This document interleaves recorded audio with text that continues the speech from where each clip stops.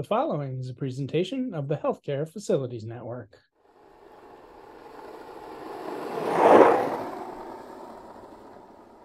So tell me about the concept of the velvet glove of leadership. It's, it's part of your title. What is the what is velvet glove of leadership and what does that mean? Well, you know, there's a lot of concepts around, but uh, there was one that we talked about. You have to rule with an iron fist in a in a velvet glove, and and that just means meant in my mind, my interpretation of it was, you have to be you, you can't be wishy washy. You have to be firm. You have to make sure that you're making good decisions. You have to communicate them well, but you need to do it in such a fashion mm. that you turn people off, your staff or your boss or your you know the nurse on the third floor. Um, so you you've got to wrap lead, uh, you know, leadership isn't easy. I mean, you have to fire people. I talk about that in the book. You know, when's it time? How do you do that? Uh, you have to look for. When is it time to fire Dennis? Well, that's a tough one, man, because uh, you know how you'll see something and in your mind you'll kind of rationalize it well that that was because of this circumstance that this person did something and and um, you know, about the second time you see something, you need to start counseling that person. Maybe the first time you you, you start counseling them, you do a, a we had a step counseling in, in, Catholic Health, you know, a verbal, a written, uh, yeah. that sort of thing. But um, I think the key for a leader is when you see some anomaly out there, you begin that process right then. Hmm. And if you do that written piece and if it goes to a, I mean, a, a verbal piece, and if it goes to a written piece, you'll know when it's time. And um, quite frankly, you know, I've I've hired hundreds of people, and I've fired. Well, I've hired more than hundreds of people, and I've fired a lot. And that's a that's that's I don't do it like Trump. You know, I don't say oh, you're fired, but um, I would I would I'm kind of shocked because about half or two thirds of the time the people know they need to go. Mm. They know they're over their head, and, uh, you probably have experienced that. Yeah, uh, maybe even more than that. And you always have that little tiny element of folks that well, I didn't do anything wrong, you know, and they don't know, they can't comprehend uh, what they've done and how that impacts uh, people. So, uh, when is the right time? Uh, you know, you you've got to take a larger view. You know, you you got to care for your people. I mean, they're everything you got. Without them, you're nothing. But you've also got in, in the military we call a mission, and if you don't complete the mission, then there are bigger issues that happen. So you have to thread that needle and and begin immediately counsel somebody if they do something that's out of out of sync with what you or the or what the organization or the goals are. And if they treat somebody poorly i will tell you if uh, if uh, if i found somebody was um, sexual harassment or that they stole or they you know there's some pretty egregious things that okay it's time you're out the door. This is peter martin if you or your organization is interested in advertising or partnering with the Healthcare Facilities Network, including sponsoring content, then please email me using the barcode in the lower right of your screen. From the trades level to the vice president level, from planning, design, construction, project management, compliance, safety, and security, the Healthcare Facilities Network reaches FM people where FM people are. Uh, it's harder in big corporations because they have that stepped yeah piece. But you know, there are instances when you when you say, uh, I'm going to get security. We'll go get a box. We're going to clean up clean up that desk. Um, don't wait. Do not accept substandard performance. If you accept substandard performance, everybody will see that. And that substandard performance is like cancer hmm. and it will grow. I don't know if I answered your question there. Yeah, no, you did. I mean, because, you know, often there's not a black and white answer, right? I mean, it's that gray area. And I'd imagine as a leader, that's you you got to be comfortable operating in the gray because it's not always, you know, the answer's not written for you all the time. What did you what do you find, Dennis, throughout your career? And and actually I would ask too if it's changed, if you can remember, but as a leader, what did you find to be the most difficult element of leadership? And did that change over the course of your career? Wow. Um, I I think I changed over the course of my career. Yeah. When I was asking that question, I was thinking, well, people change, so that you know, you, they're not stagnant. No, you have to be humble, I think, and uh, there there's a a big mix there. I mean, you have to be self confident that that you're going to be the person that can take this organization wherever whatever it is and complete whatever task there is. You have to have that self confidence. But if you don't do it, combine it somehow with humility, where you understand um, what the people that you're asking to do these hard things, you know, what they're going through. You have to know that. And I, I was, uh, I, I was pretty fortunate in my military career. I started out as an enlisted person. I enlisted and I was a cannoneer on a howitzer crew, you know, 13 soldiers. And then I went to officers candidate school. And um, when I came back as a lieutenant, I fe- I knew how those soldiers on the on the howitzer felt, and I think that helped me.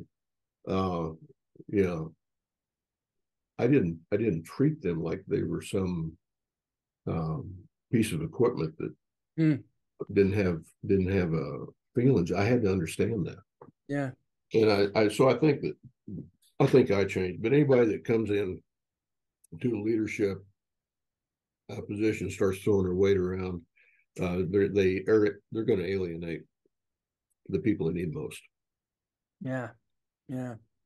Did you learn that? Did you know that intrinsically, or did, was that a lesson learned over time? I think it was learned over time. I think I made mistakes. Uh, I certainly did, and uh, they were painful. Uh, but uh, over time, you know, uh, I'm I'm still not perfect. I, I, you know, I can still offend people pretty easily, and uh, I'm sorry for that. But um, it's a journey. I don't know if anybody ever completely gets there but it, it, goes back to the hero part of this thing. You have to study folks that have done it right, and and then say, yeah, I, I think I want to emulate that. Mm. You you just you talked about um, you beginning your career in the military, and then you had mentioned Chamberlain a little bit earlier. When you were talking, I was thinking down here. So I'm just outside of Boston. I'm about halfway between Boston and Providence in Massachusetts. And down at the State House in Rhode Island, as you know from the Battle of Gettysburg, Cushing and his battery were Rhode Island guys, and there's the Gettysburg gun in the State House um, yeah. down in Providence, and it's the it's the cannon that got hit. So it's the Federal on the Rhode Island the Rhode Island battery. They were firing at the day three at the wall, and they were hit by a Confederate uh, cannonball, mm-hmm. and the Rhode Island cannonball is stuck half in and half out of the wow. cannonade because it it stops. So that's what, when you were mentioning it, it made me think of the the brigade. But you think of you know talking about learning from history. Those men were at that gun until the very end and right gunned down right there. there's a there's a place called the Notch, and maybe that's what you're talking about that that low wall. Yeah, there's a battery there, and man, I tell you, Rutherford, I think was the name of the battery commander. Battery commander, and it was all different back in those days but they actually stood. The commander would stand by the gun and he would say, "Move it left, move it right, up or down," that sort of thing. And uh, and he was shot in the groin. And he asked his soldiers for a couple of them to help him stand up so he could continue to command that gun because if that gun went out of what they call out of battery, that means it's it's no longer in use. Um, that the that battle was uh, in danger. So Rutherford was held up until he died, and mm. they hmm. finally pulled that gun out of battery. Um, so you know you have to you have to hear those stories. You have to understand hear that, and you think, what person, what kind of person can can do that? and uh, and then you ask, I ask myself, well, could I do that? Mm. And I don't know. You know, you don't know. Was it difficult for you when you were writing the book um, to to pare down? I'm imagining you're a guy who who likes history. You're probably well read. How difficult was it for you to take leadership principles and historical principles? You, you had that, you know, the hundred pages you didn't want to go over. You went to 100. How difficult was it though to pare that down and get it into a, a book and talk about it? It's really hard. Uh, you know, I like books like Lincoln on Leadership. Uh, I like uh, uh, other books, and they'll take a topic and they'll develop it over the whole three quarter inch or one inch thick book. It's not going to work nowadays. Mm. So, um, you know, I talked about Aristotle and knowledge is the beginning of leadership, or, no, or self knowledge is the beginning of knowledge. Um, I had a friend of mine who was uh, with me, and he was my uh, operations officer when I was battalion commander. And he said, You know, there's only two things you need to know in life. He said, You need to know what you know, and you need to know what you don't know. and if you know what you know, and you know what you don't know, then you then you find out where to spend your time to, you know, fill in those gaps.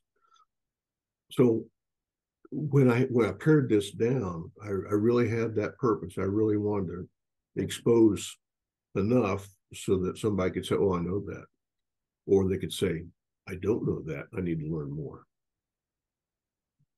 And that that's uh, that wasn't the easiest job in the world to do, to tell you. Yeah. Right? yeah.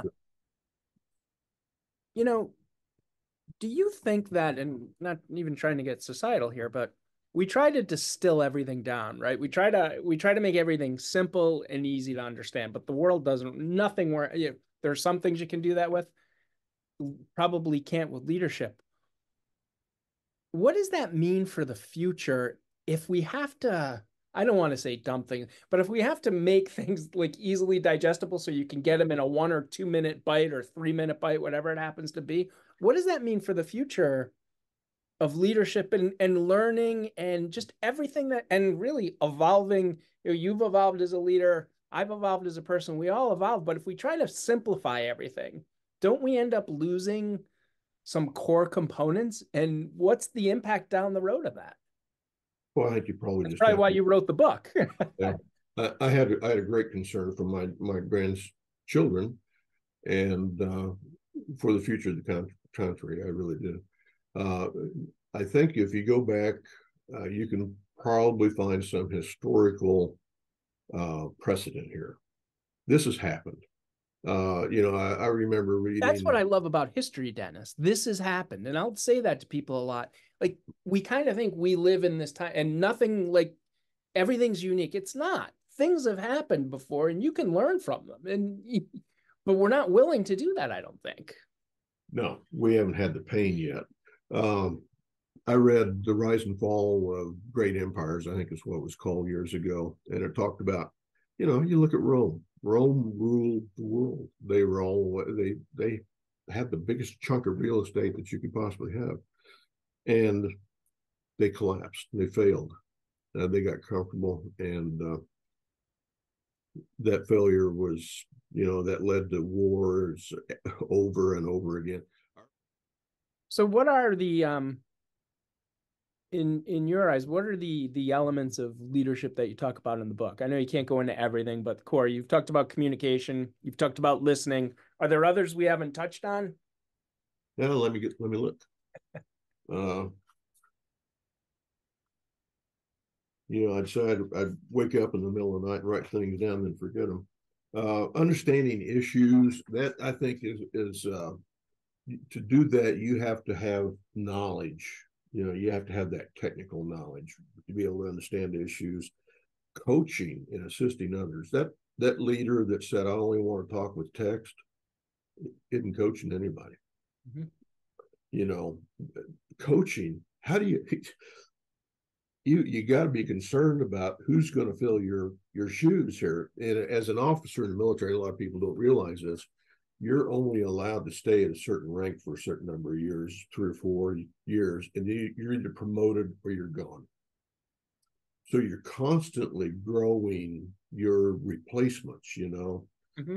um, if you're not coaching that's huge uh, you have to be able to build a rational case for decision well that means writing you know it goes back to the communication piece you have to build up and encourage others because you know when the air handler goes down on the on the roof during a blizzard you're going to have to be able to encourage people to get up there and put themselves at risk or in an uncomfortable environment.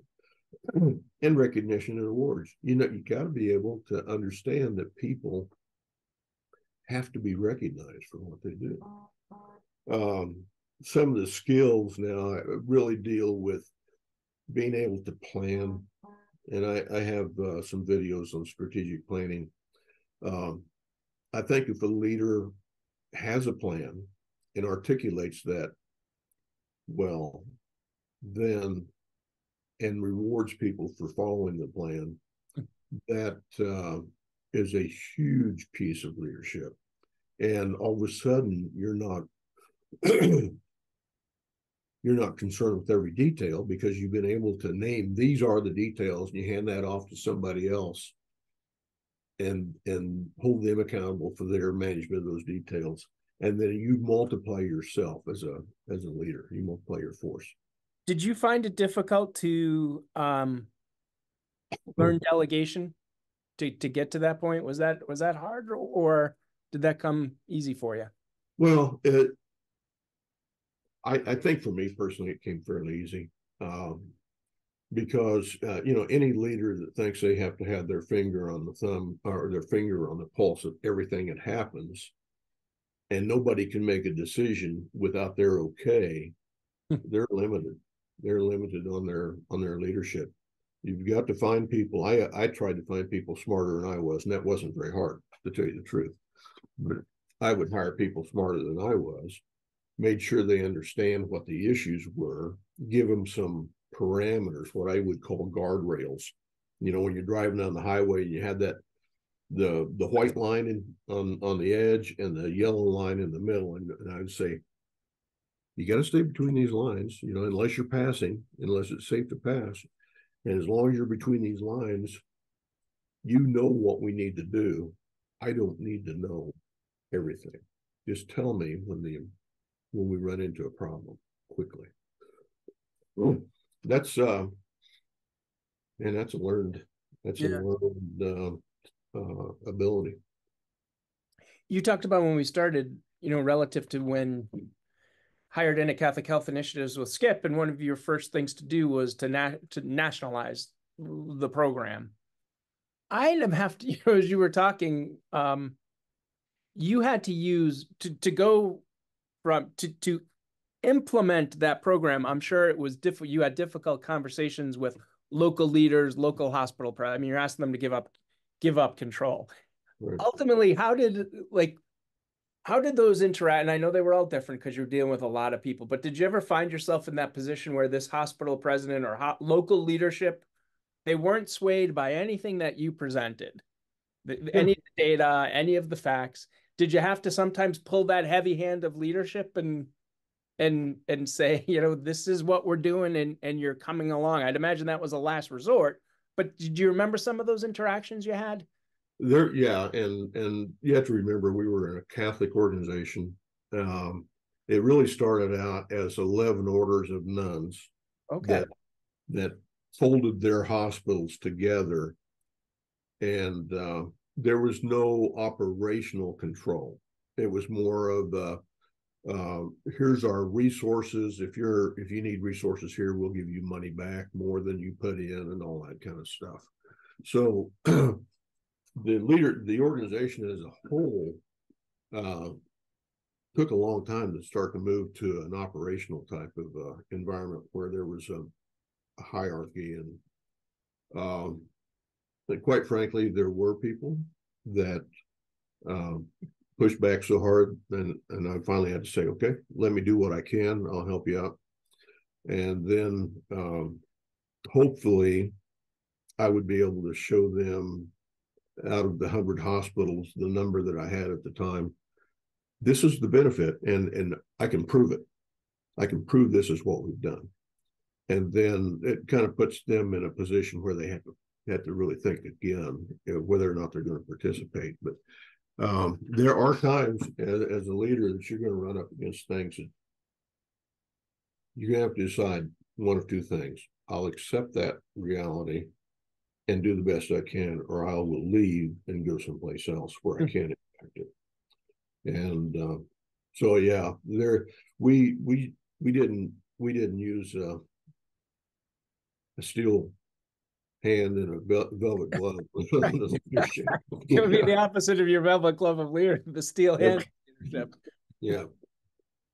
Um, you mentioned who were some um I mean, we all can point to bad leaders, but are there any neg are there any leaders in your book you spoke about what not to do and and and who were they?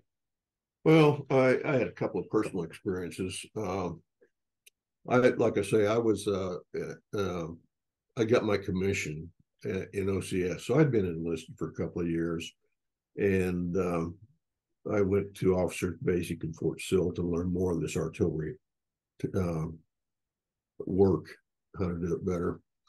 And we would always organize in the military. You always organize yourself in the in in the artillery and batteries. Otherwise, it's companies um, and battalions and so forth. And um, the uh, gentleman that was selected, we were all lieutenants. I happened to be promoted to first lieutenant, so I had seniority over second lieutenants. The majority of them were second lieutenants. And the gentle, gentleman that was selected to lead that that particular organization was a um, a graduate of the academy. Never been on the enlisted side, you know, and they'd lived in this educational environment at uh, West Point, and then were promoted to a lieutenant when they when they were commissioned. And it was interesting to watch because uh, he treated us, his peers, uh, as if we worked for him. And some of us outranked him. And that was a pretty rough period of time for him. And it took him a little while. And then he began to understand that if he didn't build a relationship, it was very difficult to get people to work with it. Mm. So I mean that was a that was a kind of unique experience. Uh, you know, a lot of people are not going to have that type of thing, but I bet you can you can you can find that same thing in. Uh, you know, if you're hired as a brand new facility manager and day one you come in and start giving orders and stuff, I I don't know it's going to go well for you. Yeah, you uh, know, so much of what you say. So I was obviously never in the military, but I was thinking back to the miniseries The Pacific that was on HBO 12 years ago now, whatever, however many years ago that was, that chronicled the, the war in the Pacific. It was kind of the uh, the yin and the yang to Band of Brothers. Band of Brothers follows Easy Company over in Europe. The Pacific didn't concentrate on a company, but it told various stories. And I read the books that the series was was based on, and two of the guys, Robert Leckie and Eugene Sledge, those books, the fighting, as you know, the fighting in the Pacific was just brutal. But Sledge and Leckie had both enlisted. You don't see it so much in the TV show because they can't put as much in it. But when you read the book, there when they would get the guys coming out of West Point coming over into mm-hmm. the coming into the war after having having not island hop and experience what there was a lot of uh there, a lot of resentment towards them and they talk about them just coming and they didn't they didn't have that shared experience and I was surprised to see some of that resentment that was in the books that these guys they never said they never called the lieutenants out. They never told they'd always come up with a name for them. Um, but it was it was definitely there. These guys jumping in and they don't know anything. That's right. And in Vietnam, it was pretty costly. You know, if they got a brand new lieutenant that hadn't been there in the fight, yeah, and, uh, he was telling him to go out and do this and that, or, and and without understanding the consequences. Uh, sometimes the some bad things happened to them. They got fragged, uh, where their own men um, mm. took care of the problem. Yeah, yeah, and, and, and, that can happen in a civilian life. I mean, not that you're going to get blown up or anything, but you can be sabotaged. That's for sure.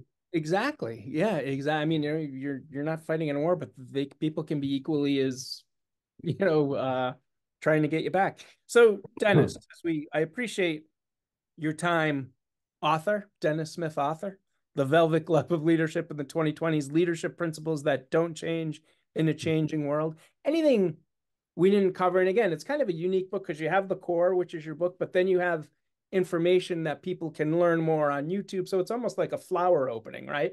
You got the book at the core and then the petals. But is there anything we didn't cover or anything relative to leadership you think is important to lead leave folks with? Well, first of all, I'm amazed that I ever wrote anything because my seventh grade English teacher would just roll over in her grave right now. But um, you know, uh, it, it's it's like uh, you just have to take this book and and take it a page at a time and and say uh, yeah i need to learn more and i've done part of that already with the youtubes and, and the toolbox um, i have a website that will be that will be live soon that's going to link all of this stuff together and i'm going to uh, continue to add to the videos with what i call three minute tune-ups and i'll take you know short subjects three minutes, cram a lot in. Uh, my my daughter, the uh, history teacher, says no more than three minutes. So um, there's a lot we probably haven't covered, but I don't know that we can in sure. an hour. And uh, I would just here's the thing, you know, as people as people think about this, um, there are things in this book that even seasoned seasoned leaders will say, "Oh yeah, I remember, and I need that tune up a little bit." But if you've got a grandchild or you've got a child that was born after 1997, it's titled leadership, but these are skills every one of them needs. Yeah. And the and the truth is, almost everybody's going to be a leader of something sometime. You know, um, yeah, I I think that this is this is the first step on a long journey for people that that uh, lead it and, and, appreciate it or read it and appreciate it. Today, appreciate. Oh, where do people? I know you said Dorrance is the publisher, and I'll put all this in. But where can people go to buy your book? Uh, DorranceBookstore.com, and I'm in the uh, nonfiction business, and you might have to scroll through a little bit, but I will send you, Peter, a QR code that takes you directly to that um, uh, place to purchase from the publisher. Uh, online, I've had some people I think have bought uh, ebooks on uh, Barnes and Noble or Amazon. Excellent. Well, Dennis, good luck and and thank you for your time. Hey, I appreciate it, Peter. Thank you very much. I appreciate it. This is Peter Martin for the Healthcare Facilities Network. As always, thank you for tuning in and.